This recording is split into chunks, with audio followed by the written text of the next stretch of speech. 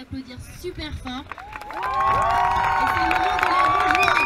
C'est le moment de faire en sorte que les Bordelais et les Bordelaises, where uh, they decided to call petrol uh, petroleum that is made in France. Euh, donc c'est assez cynique d'imaginer, je pense qu'on devrait demander à, nos gouvernements de réviser un petit peu leur cours euh, de, physique et de se rappeler qu'une molécule de CO2 est une molécule de CO2. Bon, ni ici, ni ailleurs, je crois que ce qu'on vit aujourd'hui, ce n'est qu'un début. Ce n'est vraiment qu'un début, on ne les laissera pas faire. Nous avons derrière nous le consensus scientifique qui est extrêmement clair.